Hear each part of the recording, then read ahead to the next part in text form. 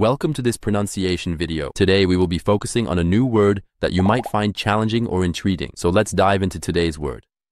Cirque, which means A steep walled mountain basin usually forming the blunt end of a valley. Let's say it all together. Cirque. Cirque. Cirque. One more time. Cirque. Cirque. Cirque. Thank you for joining us on this adventure in pronunciation. Remember, language is a journey, not a destination. Keep exploring, experimenting, and expanding your linguistic horizons. We'll see you next time.